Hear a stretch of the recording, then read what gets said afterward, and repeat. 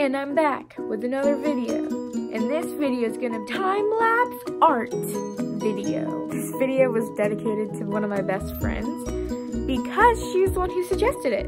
And so I was kind of like, heck yeah, I'll do totally do a video for you. And because her birthday's coming up too. So I was kind of like, yeah, I'll totally do a video for you. And then that leads me to now.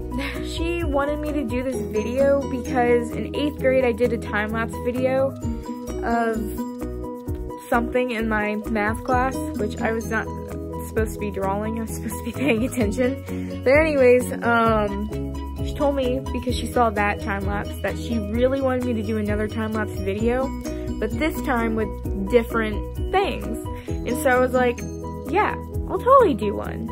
And she was like, you know what would be better? And I was kind of like, what? And she goes, she posted on YouTube. And I was kind of like, how come? And she goes, well, you are trying to get out there on YouTube now, so why not try to do videos on YouTube like this? And I was kind of like, I guess you're right. So that then leads me to now. And this is pretty much gonna go into just my failures of me drawing because they're not that good. I mean, they're better than stick people, but I wouldn't say they're like, they're, you need to put it in a museum kind of thing. So, well, enjoy.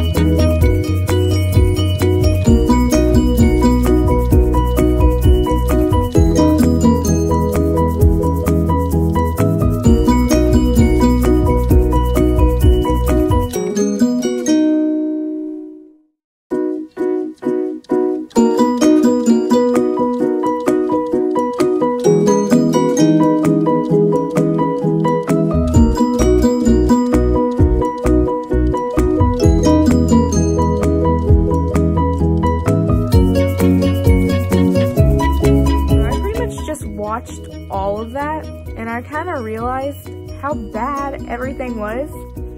But I do hope you enjoyed the video and the good, great on music. And I still do apologize because this was still not the greatest video. But um, I'm still kind of learning the ropes of YouTube. And I hope you guys stand by and watch me get better if I get better. and I will be trying to get my videos to look better. Still learning how to edit.